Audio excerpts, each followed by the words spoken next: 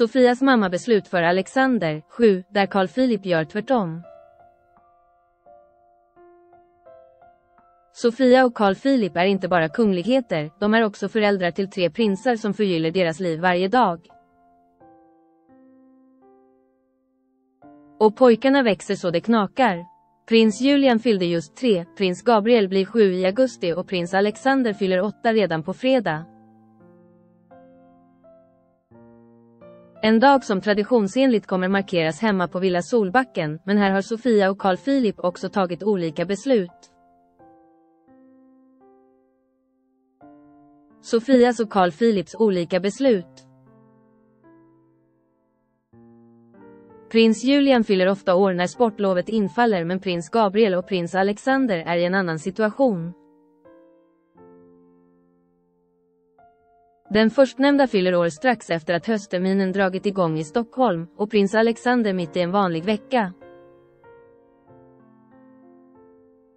Det innebär också att prinsparet jobbar om de inte medvetet lagt om sitt schema.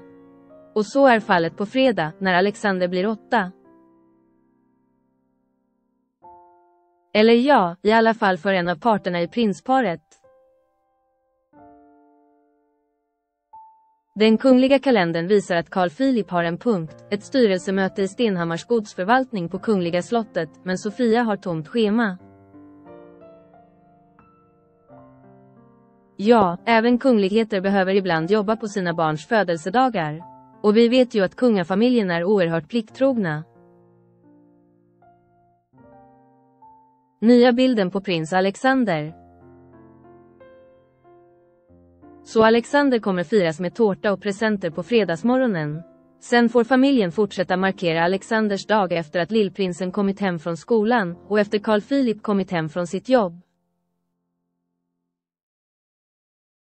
Ett roligt inslag för alla kungliga fantaster på Alexanders födelsedag är att vi varje år får en ny bild på prinsen, ofta tillsammans med en liten beskrivande text av prinsen. Genom åren har vi fått veta att Alexander är charmig, nyfiken och busig. Något som också blir tydligt varje gång vi får en glimt av honom, och på fredag kan vi alltså vänta oss ett nytt porträtt.